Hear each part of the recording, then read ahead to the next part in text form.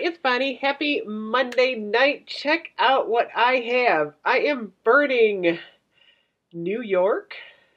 Oops, where's the label, you guys? there it is.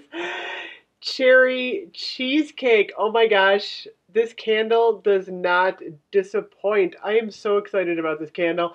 I knew I would love this one. The only thing I wish it had was would it look pretty with a silver lid? Oh my gosh. I don't know why they put the plain white one on without the scallop on these. I'm not really sure. Go figure. But this is part of the, this is kind of part two of the um, Land of Sweets. The first group of Land of Sweets had that scalloped edge on them, um, like this. And then the second half just has the plain white lid, but they're like destinations. And this one is the New York one. It's very cute. It's got the Christmas tree on here. I think I see the Empire State Building.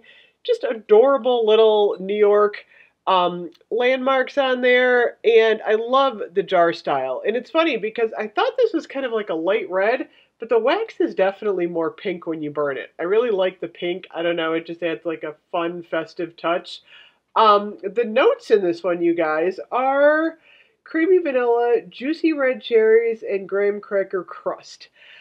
And it's funny because I had said earlier when I was doing this one that I felt like this one felt more bakery than, say, like the blueberry sugar or the tea and biscuits. However, now that I'm burning it with the throw, I'm not smelling that bakery as much. It really just does smell like vanilla cherry to me. It's got like a really creamy scent. I do like it. Um, the throw is, I would say, light to medium. I mean, I don't think this, I would call this like a super strong throw, but it's not super weak either. I was burning it, like I said, in the small room, 160 square feet, and I was getting a really nice um, throw in there, but I'm not sure it would, it would permeate like the entire large room. I'm just going to put this one out real quick so you can kind of see how pretty that wax is. Check it out. It's getting a nice wax pull there with this pink. Yeah, see, I can smell the cherry vanilla. Just, I mean, it's not like a black cherry merlot. It's definitely softened with that vanilla, which I think is nice. I mean, it does. It's not like so. If you don't like that harsh cherry, I think you're to like this one a lot because it's more um, it's more creamy. So overall, I'm super thrilled with this candle. I think this is one of my holiday favorites, and I'm probably to pick another one of these up for Candle Day because I want an unburned one in my collection. so that is New York Land of Sweets Part 2 cherry cheesecake. And it's funny, I was cleaning out a few of my candles today, and look what I found from last year. I think this was from last year, you guys an unburned marshmallow fireside. Isn't this awesome? Oh my gosh, this one smells so good, you guys. This is the cedarwood. This one says, it's funny, it's a cedarwood Palo Santo